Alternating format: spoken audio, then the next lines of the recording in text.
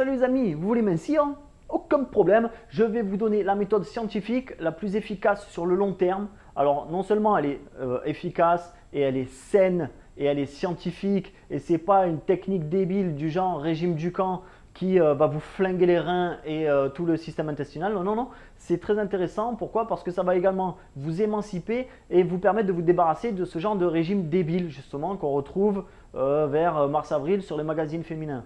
Donc, euh, le, régime amincissant, c'est basé sur deux facteurs principaux qui sont en corrélation. C'est l'alimentation et l'activité physique régulière. Alors, on peut faire l'un sans l'autre, mais si vous voulez vraiment obtenir des résultats euh, rapides et concrets, il vaut mieux coupler les deux. Pour ce qui est de l'activité physique, euh, ceux qui ont l'habitude de venir sur santéfort.fr, vous savez qu'il y a des trainings dispo. Pour ceux qui ne savent pas, vous allez dans les trainings, vous cliquez play, vous poussez le meuble du salon, ce que vous voulez. Ce sont des entraînements à poids de corps, il n'y a pas d'excuse. Et l'activité physique quotidienne ou pour tous les deux jours, vous l'avez. Ça, c'est une affaire classée. Pour ce qui est de l'alimentation, euh, il y a une petite notion à connaître d'abord. Mincir ou grossir, c'est basé sur une mécanique très simple.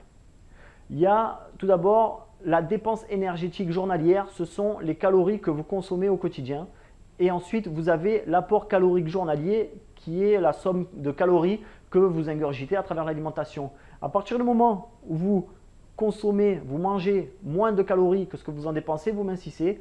Et si vous mangez plus que ce que vous brûlez, ben vous grossissez. C'est une mécanique très simple. Même mon neveu de 6 ans euh, le comprend parfaitement. À partir du moment où on a compris ça, ben la démarche devient très simple et la plupart des gens la déduisent tout de suite. On va calculer notre dépense énergétique journalière et on va ensuite ajuster les calories entrantes pour mincir. Tout simplement, c'est d'une facilité enfantine. Pour calculer la dépense énergétique journalière, il faut appliquer une formule. Ne vous prenez pas la tête, je vous ai fait une vidéo sur comment le faire. C'est un exercice pratique. Vous prenez une feuille, un stylo, vous ouvrez la calculatrice sur Windows et on le fait ensemble. Je vous mets le lien sous la vidéo. Et une fois que vous avez fait ça, parce que c'est la base, on va passer au calcul des calories entrantes. Ce qu'on va faire d'abord, c'est faire un petit bilan pour voir à peu près où vous vous situez et après on va voir comment euh, calculer et comment gérer les calories entrantes. Donc faites votre petit calcul de la dépense énergétique et on se voit pour la deuxième étape et le calcul des calories. C'est bon, vous avez calculé votre déj? Dépenses énergétiques journalières, je vous le dis rapidement parce que j'en peux plus de le répéter, c'est interminable comme mot. Euh, après, je bafouille, je refais des vidéos, ça me prend la journée. Et donc, maintenant, les vidéos, je les balance telles quelles. Donc, une fois qu'on a calculé sa déj, on va euh, s'auto-observer et essayer de calculer le nombre de calories qu'on ingurgite. Putain, il faut, je refais plus les vidéos, qu'on ingurgite tous les jours.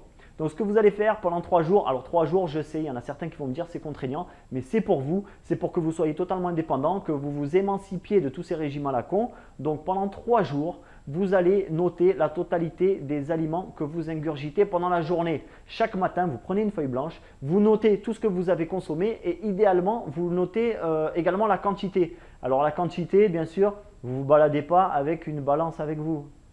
Non, non, vous êtes, on est dans le grosso merdo. Hein c'est-à-dire qu'à peu près 100 grammes de pâtes, 120 grammes de brocoli, euh, bon, vous faites tout ça à vue, mais vous essayez d'être euh, le plus précis possible quand même. À la fin de chaque journée, vous vous connectez sur www.lescalories.com. Je vous l'écris juste en dessous et je vous mets le lien sous la vidéo. Alors, je n'ai pas d'accord commercial avec ce site, hein, je vous le dis tout de suite, pas de panique. Vous vous inscrivez, vous devenez membre et après, vous avez accès à une banque de données au niveau des aliments énorme. Ça vous évitera, croyez-moi, de vous prendre la tête. Allez sur ce site et chaque fin de journée, pendant ces trois jours-là, vous rentrez la totalité des aliments que vous avez consommés et vous aurez le résultat calorique. Une fois qu'on a fait ce bilan, ça nous permet de nous situer. Est-ce qu'on consomme plus que la DEJ Est-ce qu'on consomme exactement le niveau de la DEJ Ou est-ce qu'on consomme moins? Ça permettra de savoir. Une fois qu'on arrive de toute façon, et puis ça permet de faire un exercice pratique qui, euh, qui nous habitue à calculer les calories aussi, c'est important.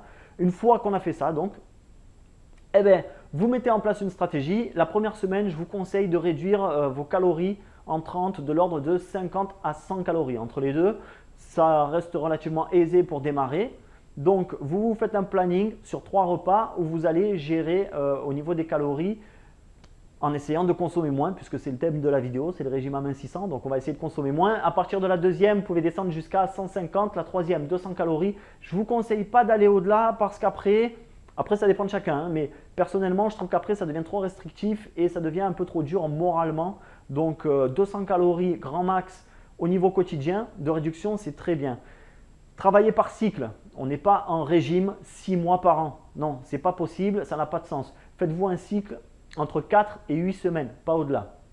Après, ça devient vraiment contraignant et il faut que l'alimentation, ça reste un plaisir. Je ne sais pas pour vous, mais moi c'est un plaisir. Hein. Je partage les repas avec mes amis, avec la famille. Euh, c'est le but de l'alimentation, c'est que ce soit convivial. Donc on fait attention, mais on ne se rend pas malade non plus. Une fois qu'on a fait tout ça, eh ben c'est bon, on a mis en place la stratégie tout marche, vous êtes parti comme sur des roulettes. Juste avant de démarrer, je vous donne quelques bases alimentaires. Alors, le but de la vidéo, c'est uniquement les calories aujourd'hui. Pour parler des quantités de protéines, lipides, glucides, je vous ferai d'autres vidéos. Mais là, je vous donne juste quelques notions de base. Il faut savoir que l'important, c'est surtout de réduire les glucides. Les glucides, c'est-à-dire tout ce qui est sucre rapide, ce que vous mettez dans le café, dans le lait, dans ce que vous voulez, les jus, les sodas, euh, également les fruits, mais gardez les fruits. Ce que je veux dire par là, c'est ne mangez pas 2 kg de fruits, mais gardez des fruits.